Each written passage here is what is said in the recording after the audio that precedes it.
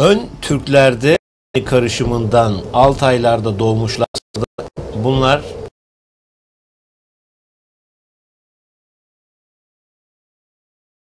bir durumdadırlar. Akrabadırlar. Kaynaklarda diyemeyiz. Amerika'ya giden birçok kollarımız olmuştur. Nice bin yüzlerde deniz yoluyla Turskalardan sonra da Bering yoluyla denizden çeşit